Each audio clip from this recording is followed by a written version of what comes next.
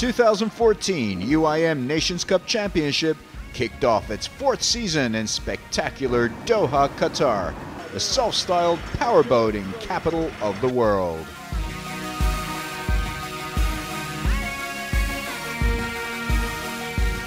Doha is truly unique, a city of stark and breathtaking contrasts, where a vibrant, age-old culture, history, and tradition coexists alongside a modern hub of business, finance, and tourism.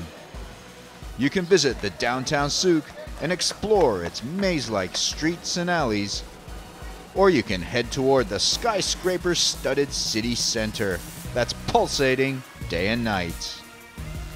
Qatar is a cosmopolitan Middle Eastern metropolis where people from almost literally all over the world live and work side by side. There's something for everyone here, from adventure sports to shopping and nightlife. Qatar is also fast emerging as a major international sports destination. Besides the Nations Cup, the city also hosts the UIM Aquabike and F1H2O World Championship Grand Prix. And in 2022, Qatar will host the FIFA World Cup.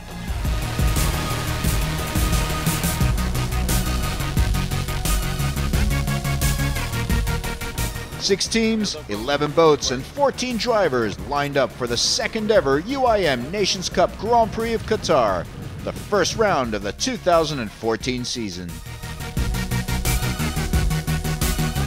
The home team, Team Qatar, once again features Khalid Al Kuwari, a match race maestro, racing in his fourth Nations Cup event for Qatar. Up alongside Al Kuwari is Abdullah Golam, who enters the Nations Cup for the first time. No, it's an excellent experience. I mean, for the first time, I think I did quite well. My target is to finish the race safely and then take it step by step. Team Italy is back with a talented Stefano Pauletti leading the squad alongside Marco Gambi. They competed in Abu Dhabi last year, finishing runner-up, but they're in for the whole season here and keen for the world title. Last year's Qatar Grand Prix winners, Team Russia, are back alongside newcomers Belarus. Six of their seven drivers competed last year, and this year they're joined by youngster Andrei Ovchinnikov. The manager is former F1H2O racer Stanislav Kurtsanovsky of Russia. I even manage two teams now, the Team Belarusia and Team Russia. So I'm like a team director. We have seven pilots. We trained them in Italy and they participated in the National Cup last year, as you know. And we continue this program. So we have uh, great plans in the future. We plan to participate in Rouen with two boats. Then we go into Augustov and we we are going to continue National Cup. And uh, so uh, we have very good, uh, talented uh, drivers. And yeah, so a lot of job and a lot of fun in the future. Sure to cause a stir here in Doha is Team Malaysia, which features two brother drivers, Alfian bin Kadri and Mohammed Afende bin Kadri, both of whom have previous Nations Cup experience when they competed in Khor in 2012. Everybody has equal boats, equal engines, so it shows that how competitive the drivers are. So on my first outing, I finished third, so it's a good thing. So I'm looking forward for a good result this time. I think we should be doing good. We can be up there with the front runners and maybe give the hometown of Qatar something to cheer about in the competition. Team Lebanon is back as well, featuring the Brazilian Lebanese driver Lebos Chaguri, who's been a Nations Cup regular. The Grand Prix started off with the draw to see which teams and drivers would get which boats and propellers. These are stock boats, all have the same steering wheels and transmission, and teams can only customize the appearance of their boat with stickers or advertising. They all use the same stock Mercury Optimax engines and also the same two kinds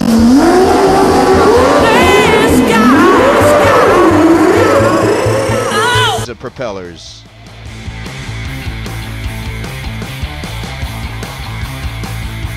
The time trials would not only determine the starting lineup of race one, they would also determine the top eight pairings in the match race, with first pairing eighth.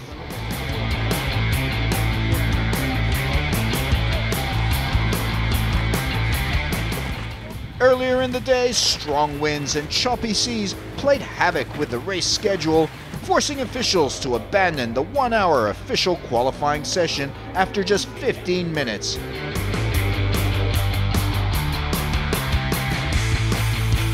Uh, we're just freezing the session for now. Water is too choppy. It's going to be too dangerous for the drivers, so all the boats are called back into the dock and on the shore. In the afternoon, the remaining 45 minutes of the time trials was completed, even though conditions still weren't perfect with choppy seas. Mohammed bin Kadri was not complaining. Uh, it's rough today, lots of roll, but I think it's gonna be fun. We're gonna be dancing on the water a lot today. Woohoo! One minute! In a closely contested time trial, six of the 11 drivers posted times within seven tenths of a second of each other. Team Malaysia's Mohammed bin Kadri ran the most laps of any driver, eventually coming in fourth just ahead of Team Qatar's experienced Khalid Al Kuwari.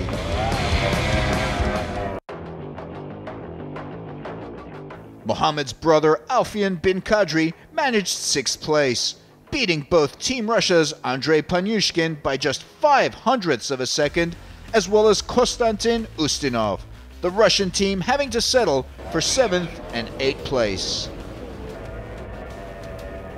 But there was drama as Alfian bin Kadri barrel rolled 20 minutes into the session, bringing out the yellow flag.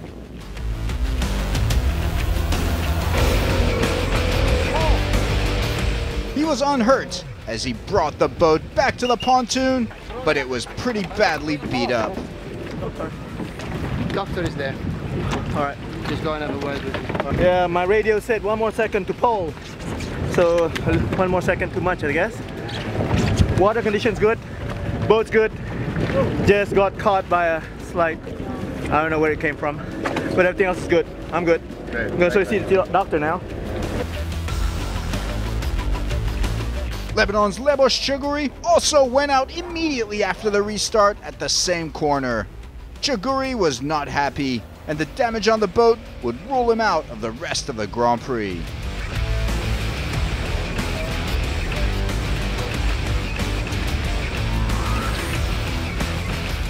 Newcomer Abdullah Golam was more than three seconds behind 8th placed Ustinov. The big sensation was Team Belarus, with both drivers making the top three, of Ovchinnikov second with a time of 50.03 seconds, and Vandyshev third with a fastest lap of 50.13 seconds. Try as they might, they had no answer for the pace of Stefano Pauletti of Team Italy, who was the only driver to break the 50 second mark, winning pole with a time of 49.72 seconds. His Team Italy teammate Marco Gambi had problems and ended up in 11th spot.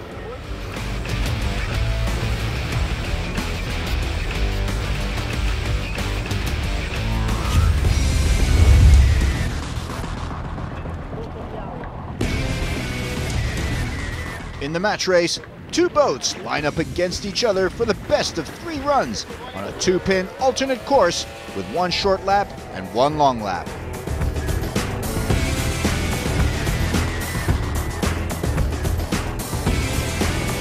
The first big matchup was between two-time former match race winner Khalid Al Kuwari of Qatar and Stefano Pauletti of Team Italy. Pauletti got the better of Al Kuwari and then moved on into the final with a closely fought semi-final win over Belarus driver Roman Vandyshev. On the other side of the draw, Konstantin Ustinov of Team Russia made short shrift of Qatari Abdullah Golam before then going on to beat Malaysia's Mohammed Afandi.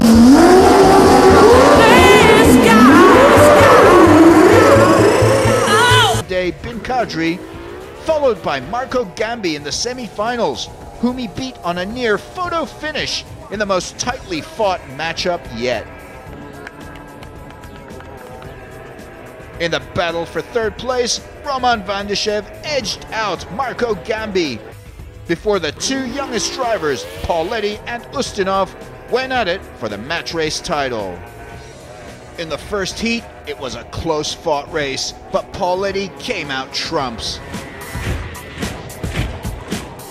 In Heat 2, the tables were turned, and it was Ustinov who forced the final to a decider.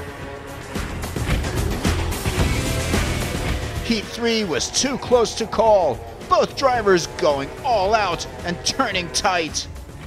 But in the end, it was Pauletti who held his nerve and came out with a well deserved win. The match race results put Italy at the top of the standings with 43 points, giving them a 7 point advantage over Team Russia, with newcomers Belarus a further point adrift in third.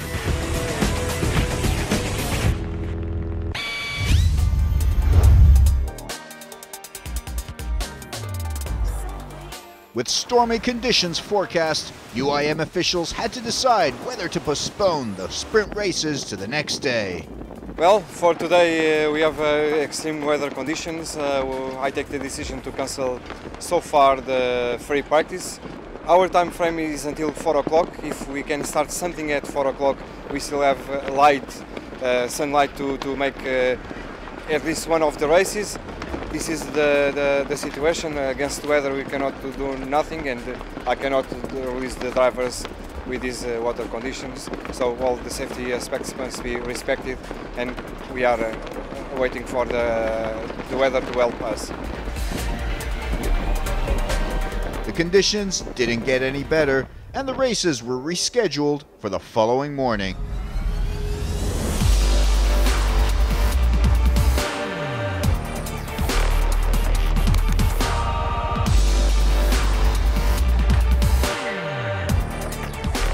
Weather conditions were suitable for racing the next day, and teams were ready for Sprint Race 1. Team Lebanon was unable to start the race, as was Abdullah Golam of Team Qatar, reducing the starting grid to nine boats. The race will be run on a 1.6 kilometer, 4 pin rectangular circuit with two long and two shorter straightaways. The race is on. Stefano Pauletti and pole having a slow start as the two Belarusian boats to his right jump to the lead, literally from the get-go, with Andrei Ovchinnikov in number 10 first to the commitment buoy. Pauletti gets some momentum going to climb back up into second ahead of Dmitry Vandyshev in the Belarus number 9 boat. Pauletti has the inside lane He's right up there, neck and neck with Ovchinnikov as they lead the fleet of nine boats down to buoy number two.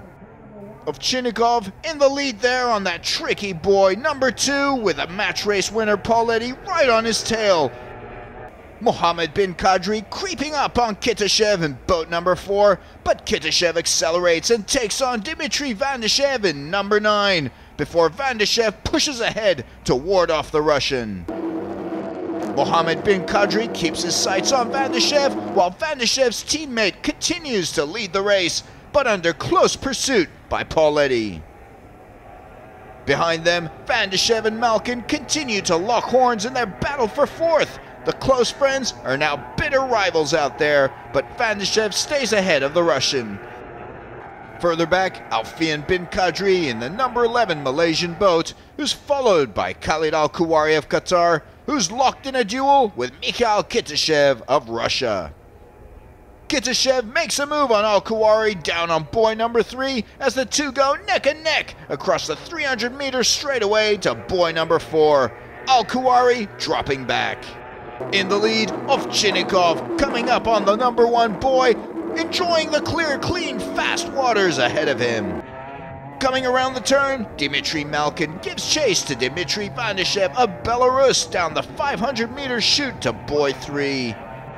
Malkin hits a crest and his equipment goes flying. Conditions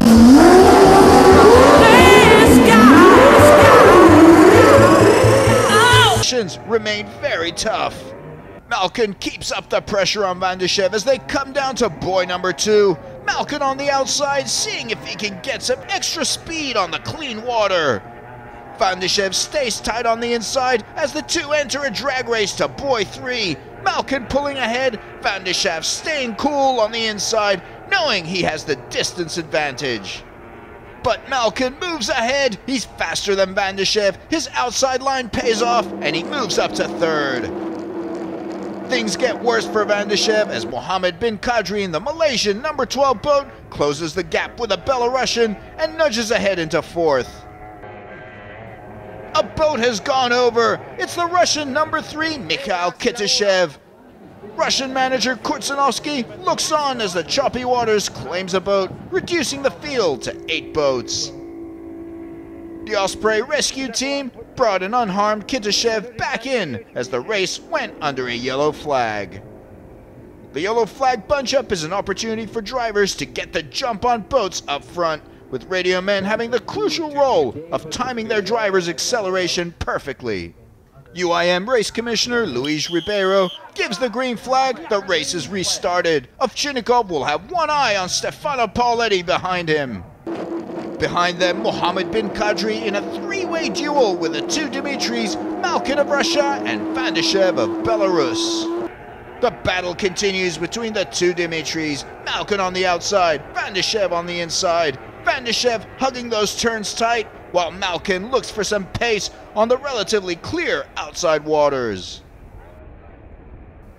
The two are locked in a dead heat. Malkin pulls ahead of the Belarus driver, opening a four boat length lead to move up a spot as Mohammed bin Kadri also gains on Vandyshev. But Vandyshev keeps up his pace on the inside. Vandyshev goes wide, and bin Kadri moves in sharp to try and sneak in on buoy number two. The two go neck and neck around the buoy and enter a 500 meter drag race to buoy three. This time, Mohammed bin Kadri has the advantage. Ahead of them, Pauletti makes another move on Ovchinnikov. Pauletti nudges ahead. He's on the inside. Can he hold off the Belarusian? Pauletti has it. Pauletti into the lead for the first time in the race in lap 16. The Italian now in command with eight laps left in the race. It's been a titanic race-long battle between these two, Ovchinnikov holding the advantage for 16 laps before Pauletti found his chance and made his move to take the lead and gain the advantage for Italy. Ovchinnikov is feeling the pressure now as Malkin, the four-time World Endurance Pneumatics champion from Russia, closes in on the Belarusian. Malkin goes wide, but he has the speed and he pulls away from Ovchinnikov, bumping the Belarusian down to third. Great racing from Malkin. Before Ovchinnikov can scramble back, he suddenly has Mohammed bin Kadri on his starboard side.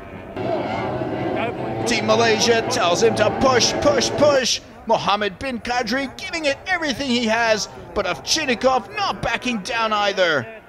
Bin Kadri accelerates on the turn. He's now moved into third on the 525 meter top straightaway, and then down the 255 meter shot to buoy two. As for Pauletti, his lead is looking comfortable, unaware of the three-way struggle behind him, as Ovchinnikov drops from first to fourth place within just a few laps.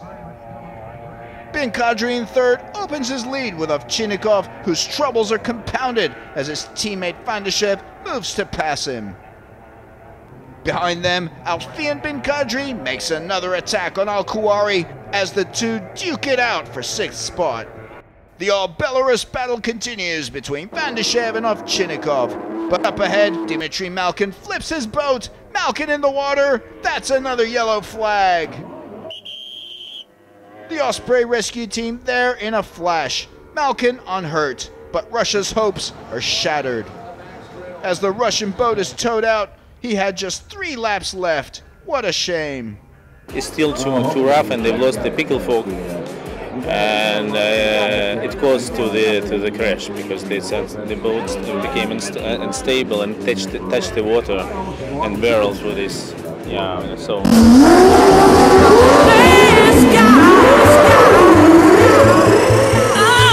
I'm so upset because my driver did so well, started from eight, and uh, he would run two in just two, two three laps. I don't know why. And just with like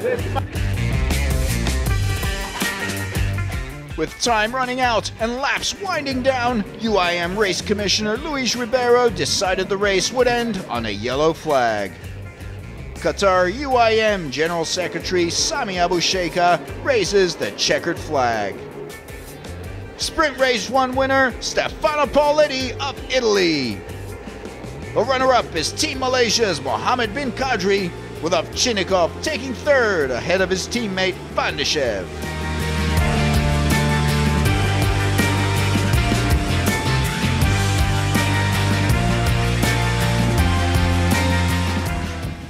Sprint Race 1, teams completed their final preparations, and after a brief interlude, the boats headed back out for Sprint Race 2. Seven boats lined up for Race 2, Pauletti in pole, Mohammed bin Kadri second, Dmitry Vandyshev stepped in for Ovchinnikov in third, and his brother Roman Vandyshev beside him. A better start this time from Pauletti. Khalid Al shot up the field on the first turn at the commitment buoy as Pauletti led the field down the 255 meter straightaway to buoy number two. Mohammed bin Kadri of Malaysia kept his line in second place behind Pauletti as the boats came around the turn. Great start from Khalid Al Kuwari, the Qatari shooting up into third place behind the number 12 Malaysian boat. Bin Kadri goes wide out of Pauletti's wake to try and get some speed to keep up with the Italian. Behind Al Kuwari, Roman Vandyshev edges ahead of Alfian Bin Kadri. Mohammed Bin Kadri tries to keep within striking distance of Pauletti, while behind him, Roman Vandyshev closed the gap with Khalid Al Kuwari, trying to overtake the Qatari on the 500 meters straightaway to buoy number three.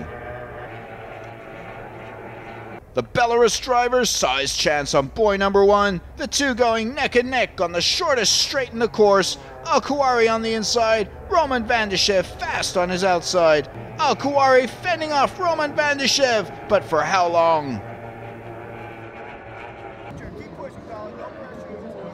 Pauletti has been having a dream event, winning the time trials, match race, and sprint race one, and now he's on course for a clean sweep. Impressive stuff.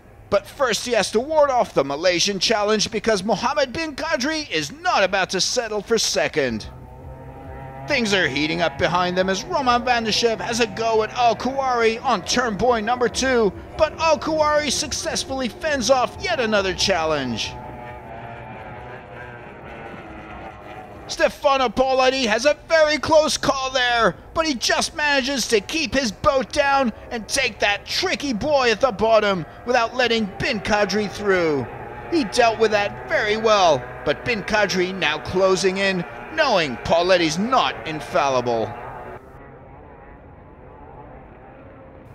Behind them, the fight continues between Al Kuwari and Roman Vandyshev. The Belarus driver makes his move on the outside of Buoy 1, but Al Kuwari holds on on the inside before going wide.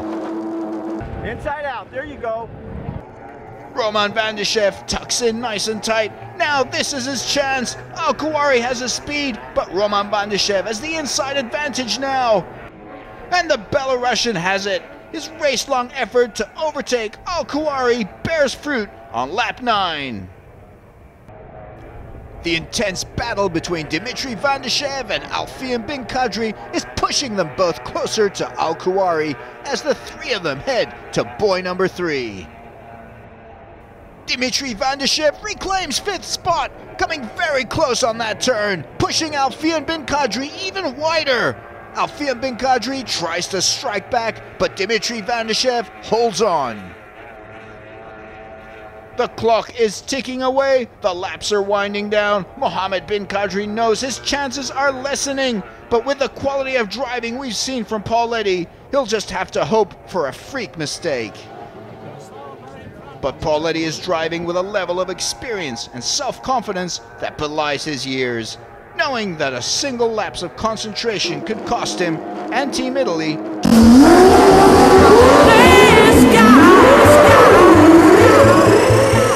Dearly.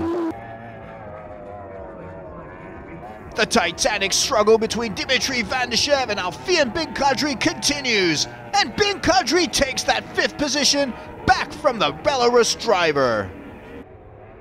Roman Vandyshev is looking comfortable in third place. Alfian Bin Kadri sets his sights on Al Kuwari as the Malaysian tries to overtake the Qatari. The two go neck and neck down that straight, barely anything between them, and Al Kuwari uses his inside lane advantage to hold on to his position.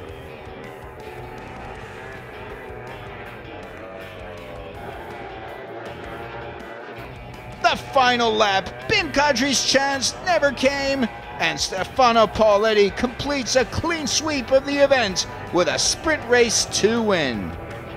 Great stuff from this promising Italian talent. Team Malaysia well pleased with Alfian's performance even though Al managed to come in fourth, which was some consolation for Team Qatar. Marco Gambi finishes the race in seventh, earning Team Italy crucial points.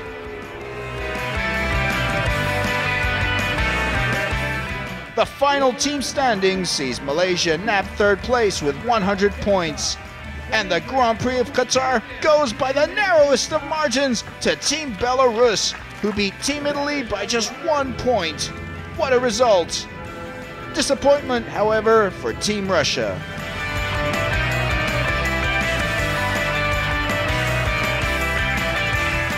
That concludes the first exciting round of the 2014 UIM Nations Cup World Series.